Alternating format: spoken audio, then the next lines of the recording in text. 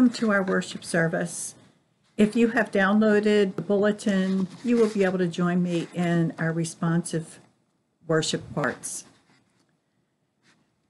So it's wonderful to have you here as we gather to praise God. And a reminder that we meet physically in the parking lot on Sunday mornings at 9:30. But in case of inclement weather, would you please um, notice the cancellations that we will have? They will be found on the email blasts, on the church website, the church Facebook page, and also on the church answering machine. So if in doubt, please check one of those before you leave home. We continue to remember in our prayers all those who are not able to be with us, either in person or those who are homebound, grieving, or sick. Those include Job Mangus, Wayne Peischer, Linda Gartner, Don Zettelmoyer, Wayne Kaufman, Nancy Harding, Stuart Dreibelbis, and recently Carol Stout. We also remember the families of Ruth Ballard, Alma Clapper, Alma Clapper, and Helen Lamb. This Saturday will be Helen Lamb's private memorial graveside service here in Hain's Cemetery. Thank you, as usual, to those of you who have been in contact with church members and who have let me know how they are doing. I hear good things from them when I phone them. They appreciate being remembered, and this is really an important way to keep those members connected. So now let's take a moment to prepare our minds and hearts to worship God.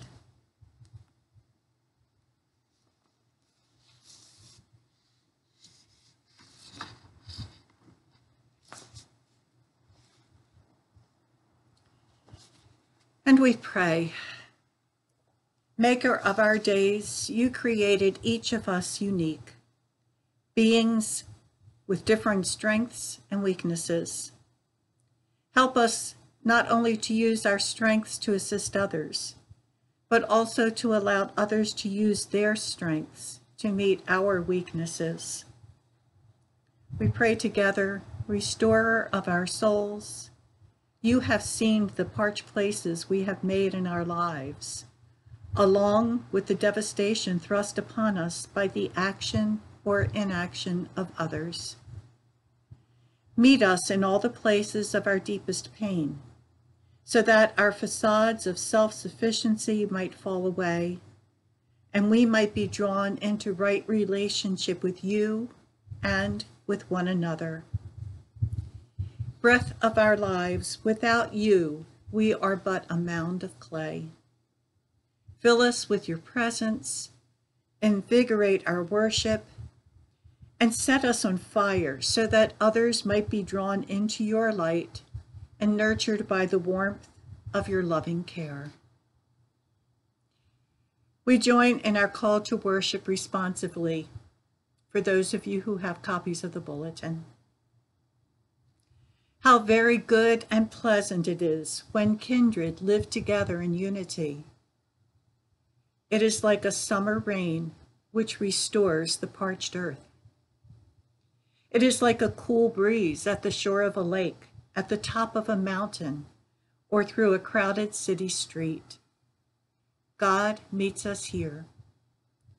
We have gathered to worship the maker of our days, the restorer of our souls, and the breath of our lives. As we are asked in Scripture, we come together to confess our sins to God and to one another before we continue worshiping God. When we try to go it on our own, lacking faith in divine providence, Lord, have mercy. When we have not recognized God at work in the faith of others, Christ, have mercy for all that we have done and all that we have left undone. Lord, have mercy. Let's take a quiet moment to reflect and confess within our hearts.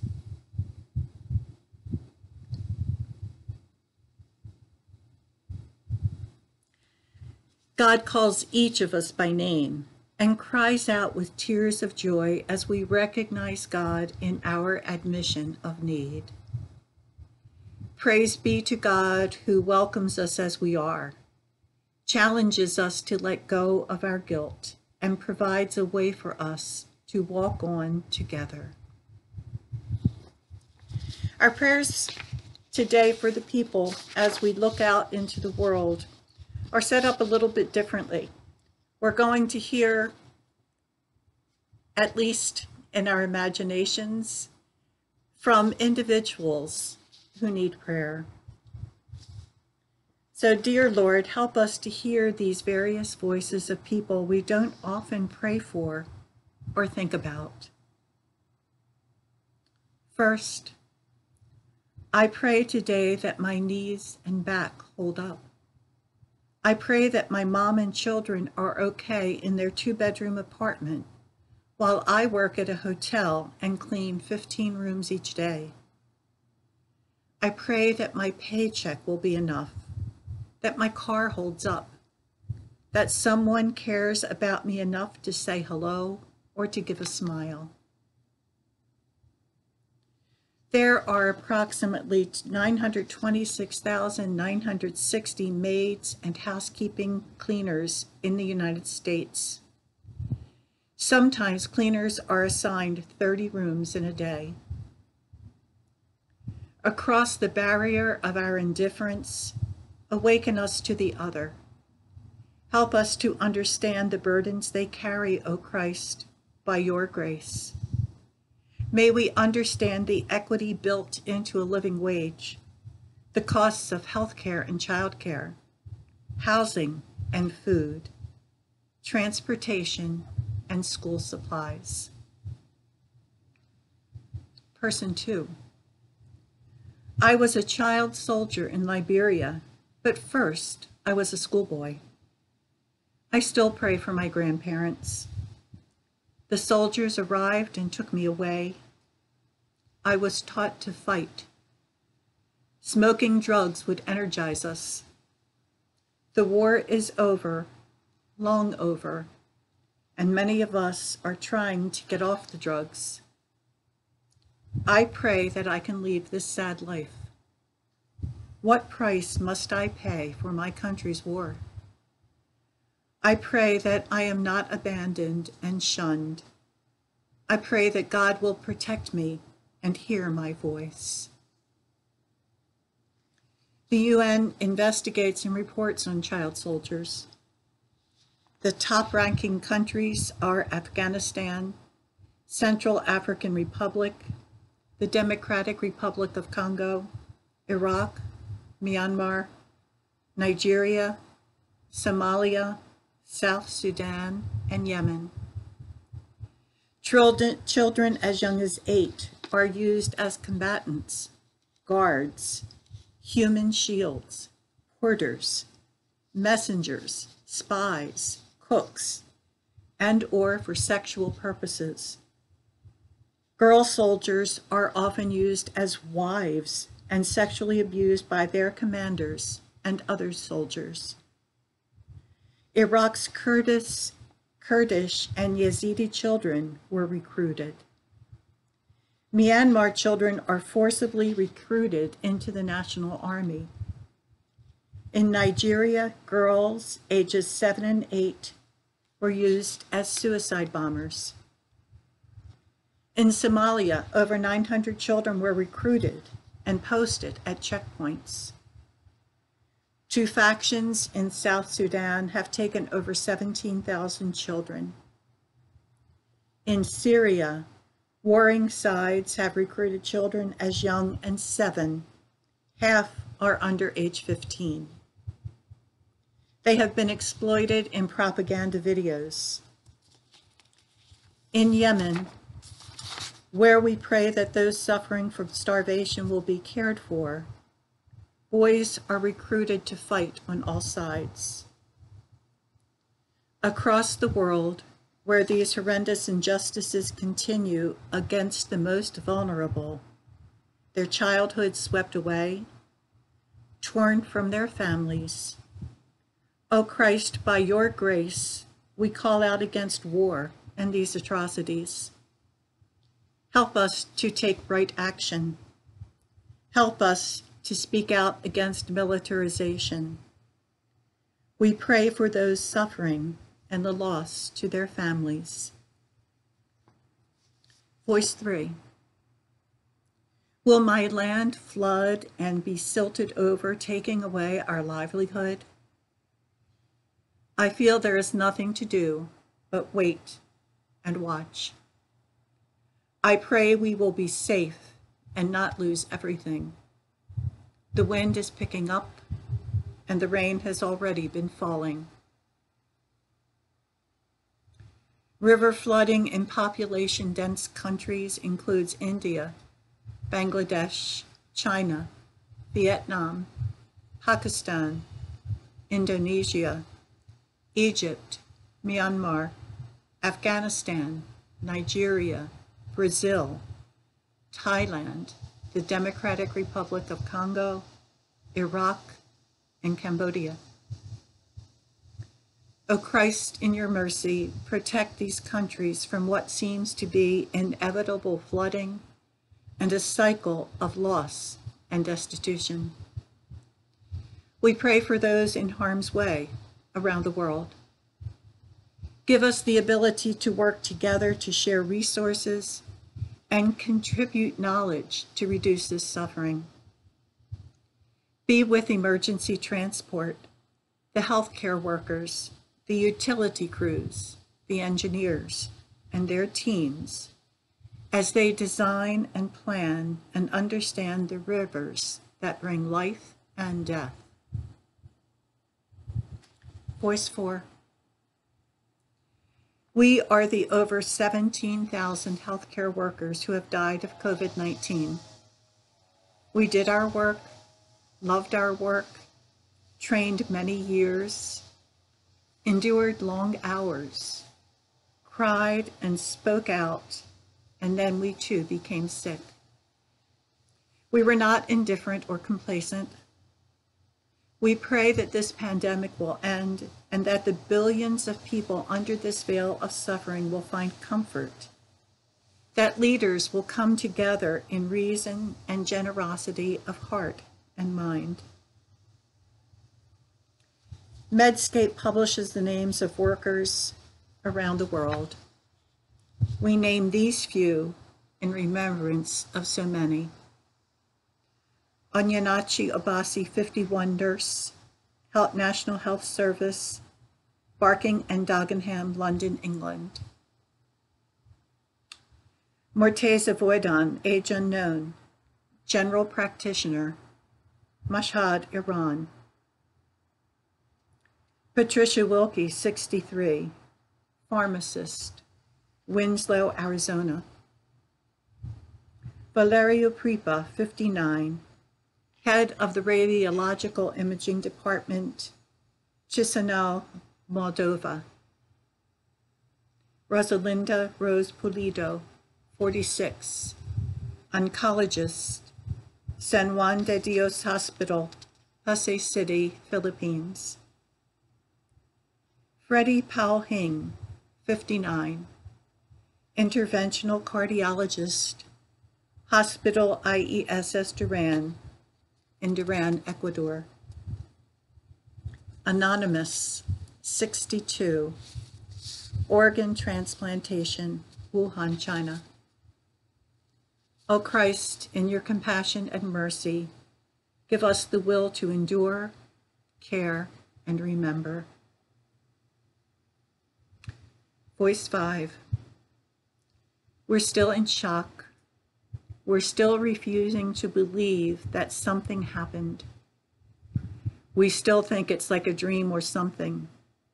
It was terrifying. It was horrible. Residents of Beirut, Lebanon are still reeling after an explosion of ammonium nitrate leveled the port, injuring at least 50,000 people and leaving at least 137 dead.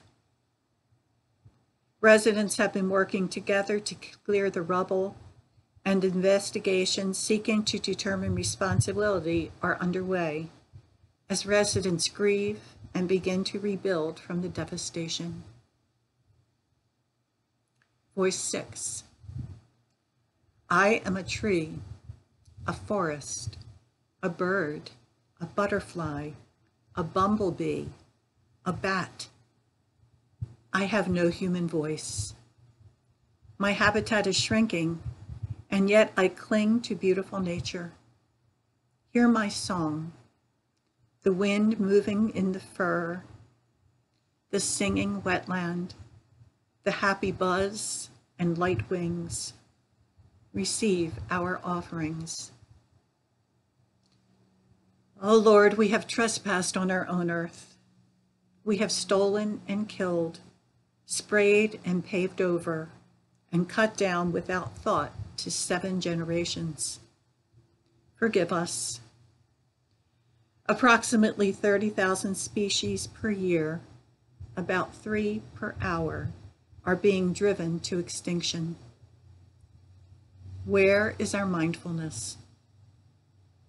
Nearly 80% of species diversity of our world is destroyed because of habitat loss. Approximately 5,760 acres per day, or 240 acres per hour. Christ, in your mercy, awaken us to our stewardship. Help us to live and step lightly. O Lord, call us to your table of life. Remind us of the mighty work we need to do to care for each and all. Rest us at night and renew us for this day that is before us, as we pray together the prayer that Jesus taught us. Our Father, who art in heaven, hallowed be thy name. Thy kingdom come, thy will be done on earth as it is in heaven. Give us this day our daily bread and forgive us our debts, as we forgive our debtors. And lead us not into temptation, but deliver us from evil. For thine is the kingdom, the power, and the glory forever. Amen. Let us join together in our affirmation of faith as it's found in your bulletin. We believe in the Spirit who blows through our lives, unsettling us, stirring us up, propelling us forward. We believe in the Spirit who comes as fire, warming us, empowering us, remaking us. We believe in the Spirit who frees our tongues for talking of God, for prayer, for advocacy. We believe in the Spirit, the counselor, the helper, the breath of God. Amen. We are still called to make our offering. We can do that online, by mail, or if you have another alternative, you can contact Donald Hummel via the church office phone. In times of plenty and want, God provides for our deepest needs. Give generously out of the abundance of God's blessing, so that in these challenging times, God's work might continue.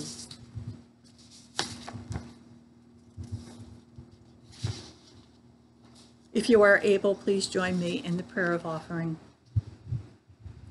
Holy God, you are our provider. We dedicate to your service our lives and these offerings from, wit, from your blessing and from our labor.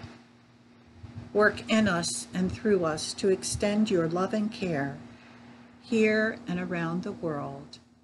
Amen. Our worship service will continue with Pastor Dan. Greetings, friends, and welcome to this part of our service for the scripture reading and for the sermon. Uh, if you hear the sound of thunder and lightning, it's because that's what's happening outside of my office slash studio here in Warminster. Uh, hopefully, it will allow us to at least complete this section of our video service uh, before we lose power. So, if if I plan this correctly, I have certain key points where I'd like for God to send just a little bit of thunder uh, to get your attention. but I cannot promise that uh, at all. So if you hear the thunder, believe me, I, I was not able to orchestrate that all. It's totally in the hands of Mother Nature. Let's have a prayer before we read our scripture. Thank you, Lord, for this time together. Thank you for your word, which is truth, which is hope, which is courage for us when we're facing difficult times. May the word now lodge in our minds and in our hearts and give us your gifts. Amen. The scripture reading is from Matthew chapter 15. It's in two sections, 10 through 20 and then 21 through 28. This is a bit of an unusual section. Hopefully I can talk about some of that in the sermon, but it's really two stories. They do have a link to each other, but on the surface that may not appear that's the case. Matthew 15, 10 through 20. Then he called the crowd to him and said to them, Listen and understand. It is not what goes into the mouth that defiles a person, but it is what comes out of the mouth that defiles. Then the disciples approached him and said to him, Do you know that the Pharisees took offense when they heard what you said? He answered, Every plant that my heavenly Father has not planted will be uprooted. Let them alone. They are blind guides to the blind. And if one blind person guides another, both of them will fall into a pit. But Peter said to him, Explain this parable to us. Then he said, Are you also still without understanding? Do you not see that whatever goes into the mouth enters the stomach and goes out and into the sewer? But what comes out of the mouth proceeds from the heart, and this is what defiles. For out of the heart come evil intentions, murder, adultery, fornication, theft, false witness, slander. These are what defiles a person. But to eat with unwashed hands does not defile. And now we move to the second portion of this reading, Matthew 15, 21 through 28. This is a story labeled and known as the Canaanite woman's faith. Jesus left that place and went away to the district of Tyre and Sidon. Just then, a Canaanite woman from that region came out and started shouting, Have mercy on me, Lord, son of David. My daughter is tormented by a demon. But he did not answer her at all. And his disciples came and urged him, saying, Send her away, for she keeps shouting after us. He answered, I was sent only to the lost sheep of the house of Israel. But she came and knelt before him, saying, Lord, help me. He answered, It's not fair to take the children's food and throw it to the dogs. She said, Yes, Lord, yet even the dogs eat the crumbs that fall from their master's table. Then Jesus answered her, Woman, great is your faith. Let it be done for you as you walk. And her daughter was healed instantly. This is the word of the Lord. Thanks be to God.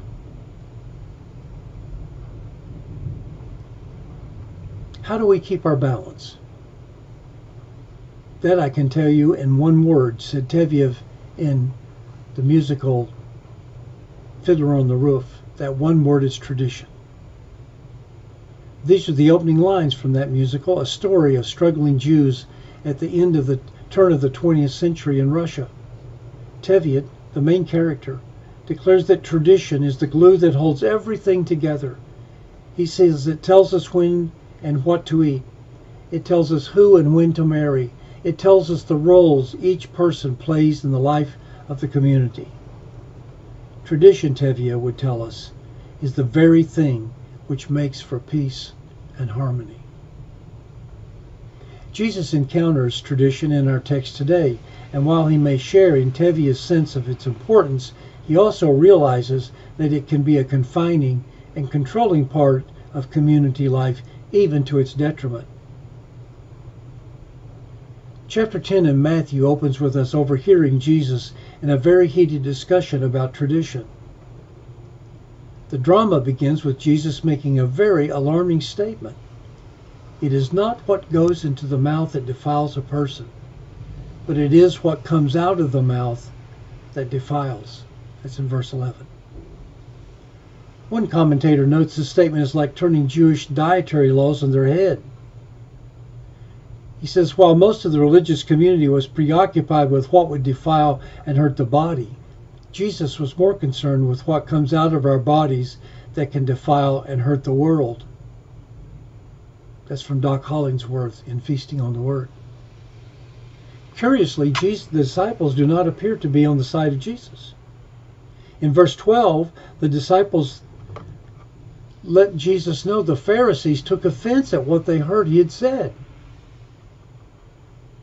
Peter, ever the one to be quick with a question or a comment, remember, two weeks ago he was jumping out of the boat into the water, walking to Jesus, and almost drowned himself. He asked for an explanation. No surprise. And no surprise, Jesus gives him one that is direct and to the point. What comes out of the mouth proceeds from the heart, and this is what defiles. For out of the heart come evil intentions, murder, adultery, fornication, theft, and false witness the ethical point could not be more sharp and his critique of tradition more pointed. But here we must be careful about tradition. Jesus is not condemning tradition per se, rather an understanding about the role of tradition. His, here his condemnation is about traditionalism, not tradition. The noted patristic professor Jaroslav Pelikan Patristics is a term used in seminaries to mean the early church fathers from the t- who led the church and wrote about theology and faith and liturgy from the time of Jesus' death until about 300 AD. Jaroslav Pelikan, great name, scholar of Christian theology and medieval intellectual history at Yale. Here's what he says Tradition is the living faith of the dead. Traditionalism is the dead faith of the living. This was the focus of Jesus' statement that tradition, a meaningful historical guide in every generation, had been transformed into traditionalism, which was a worship of the tradition and its application, devoid of any capacity for justice, mercy, or kindness. Traditionalism cannot be a sufficient base for ethics or morality because it cannot permit any other relevant issues to be considered. It becomes like an iron box, rigid, cold, not permitting any other context or human or psychological exigencies to be considered. Words such as compassion, mercy, kindness could not be included in the vocabulary of traditionalism. This was, of course, in direct contradiction to the work and ministry of Jesus, which consistently emphasized the attributes traditionalism excluded. We know from our own experience, especially in the church, this truth. We know that the church battles fought for God are fought in the name of tradition. Gary Charles observes rightly tradition can mean anything from a worship practice that occurs more than once to a liturgical rite that the church has practiced for generations. Tradition can provide a solid yet flexible foundation for faithfulness, but it can also function in the opposite way. In this text, Jesus chastises the official keepers of Jewish tradition for having squeezed the life and liveliness out of their tradition until, as he says, it had calcified into an irrelevant religious relic or worse. The narrative of the opening of Matthew certainly provides hope and inspiration that faith must move beyond traditionalism to a flexible and reflexive approach to tradition, which gives us a history for reflection to move forward to meet new and important ethical situations. But then the second part of this reading appears to undercut everything Jesus has said. In fact, on the surface, one might conclude, falsely I would say, that Jesus sounds just like the Pharisees he condemned earlier. In this text, verses 21 through 28, we find Jesus confronted by a Canaanite woman. The word Canaanite is charged with theological and historical significance for all Jews. Notes Ewan Russell Jones, it stirs up memories of ancient foes, idol worshipping enemies over against whom the people of Israel defined themselves.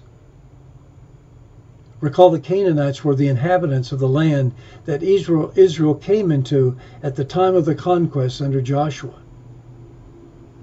There were huge gaps between these groups, as were the relations between Jews and Samaritans. There's additional discrimination toward the woman as well. Women were expected to be reserved and quiet. Here the opposite confronts Jesus a woman who is loud, confrontive, argumentative, and defiant. She has claimed roles for herself reserved for men, and the disciples are not having any of it. They ask Jesus to basically shut her up. Sound familiar? In the discussion with Jesus, the woman has a simple request to heal her daughter who is suffering from demon possession. Now remember, demon possession was a catch all term for a lot of things that uh, today would be easily resolved either with medicine or psychotherapy. But Jesus is quiet and unresponsive to her claim. The disciples intervene and try to remove her, but she would not relent. Remember the story of the woman who likewise pestered a judge in the parable of the unjust judge in Luke 18 1 through 8. Now, tradition of which Jesus pontificated on comes into play, and the text doesn't paint a very complimentary picture. Some recent commentators see this as a moment when Jesus is, quote, caught with his compassion down and forced to confront his own prejudice, which is a reversal of the usual roles we see of Jesus in the New Testament. Here, the respected teacher learns from an outsider the need to broaden his ministry of hospitality to those outside the house of Israel. It appears Jesus is caught in his own understanding of traditionalism and does not wish or is unable to act on what he has stated is the basis of relationship to God, not traditionalism, but faith in God's ability to move beyond all traditions, to move through any tradition.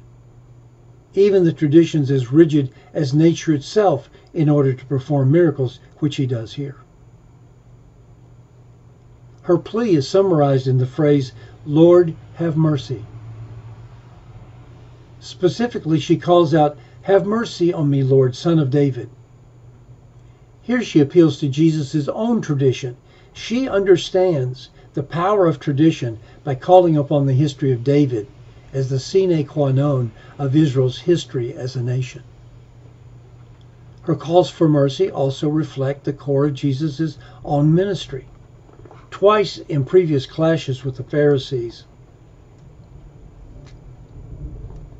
over questions of ritual purity. He quotes Hosea 6 6. I desire mercy, not sacrifice. Mercy is the cornerstone of his critique of their religion and lifestyle.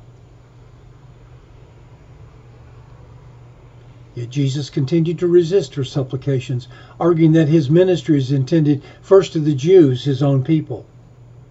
The woman does not object to God having mercy on Jews, but places the entire discussion on understanding the fact that the fundamental basis of election is God's decision to be a merciful God. I will have mercy on whom I have mercy, and I will have compassion on whom I have compassion. Exodus 33:19 and Romans 9:15. Here's the bottom line. While mercy may begin with Israel, she knows it cannot end there. At least she believes it cannot end there. Because of the very nature of Israel's God. It overflows to others in the house, even to the so-called dogs that Jesus used to describe the Jews' understanding of Canaanites. Tradition cannot control the gift of mercy. While it can serve as a historical reminder of its importance, it can not keep it safe as in a bank from which mercy is dispensed based on some delimiter such as ethnicity or gender or social class or mental or physical condition. God's mercy is unlimited, not limited. God's mercy is not owned by any religious group or theological position. It is uniquely a quality of God's own person and flows from God's own self. This essence was expressed in those great lines from Shakespeare's Merchant of Venice when he wrote these words The quality of mercy is not strained. It droppeth as a gentle rain from heaven upon the place beneath. It is twice blessed.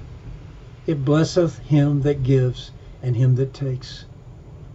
Tis mightiest in the mighty. It becomes the throned monarch better than his crown. His scepter shows the force of temporal power, the attribute to awe and majesty, wherein does set the dread and fear of kings. But mercy is above this sceptered sway. It is enthroned in the hearts of kings. It is an attribute to God himself. And earthly power doth then show like us God's when mercy seasons justice Therefore, Jew, though justice be thy plea, consider this that in the course of justice none of us should see salvation. We do pray for mercy, and that same prayer doth teach us all to render the deeds of mercy. I have spoke this much to mitigate the justice of thy plea, which if thou follow, this strict court of Venice must needs give sentence against the merchant there. Of all the wonderful qualities of the great and long tradition of St. John's Hain's Church, I hope history will say about us mercy was always present here. Mercy was always given freely and found freely through faith in God. As much as we are keepers of this tradition, we are also aware we don't control it or dispense it, but we do help others to receive it, to share it to be it ourselves and never be numb to the cries of those who plead, Lord, have mercy. Let us pray. Kind and gracious God, you are merciful to all of us. But often your mercy is taken for granted. We don't think about it very much, except when we're in trouble when we feel that we have broken our relationships with others and ourselves and with you. We pray that your mercy is still available to us. We know it is, but we have to claim it and believe it. Strengthen our faith that we might indeed receive your mercy, but also be courageous enough to offer your mercy to all and anyone we meet. Amen. We thank you for joining us today. We're going to continue doing this for a while. We're hoping that on October the 4th, World Communion Sunday, we will be able to re enter our sanctuary and worship in that sacred space. We will be providing information for you about how to do that because we've taken the time, the leadership of the church, through the consistory, to ensure that we do all the safety measures we can so that when you come to church, you will know and feel confident that you can trust it is safe for you to be there. There will be some restrictions, naturally. We have to observe the guidelines set forth by the medical community, and we will do that. And we ask for your cooperation when we do that. You will be receiving a letter in the next couple of weeks that explains all of this, and we are excited about being again together in the sanctuary of the St. John's Hain's UCC Church. Now receive these words of benediction. You have been reconciled with Christ. Do the work of Christ in the world. Extend support to those in need. Speak up for those cast aside. Build bridges of reconciliation. Strengthen the bonds of community. knowing that the Maker of our days, the Restorer of our souls, and the breath of our lives will be with you this day and forevermore. Amen. Now the peace of Christ be with you, the comfort and consolation of the Holy Spirit surround you this week. May God's mercy rest upon you. Amen.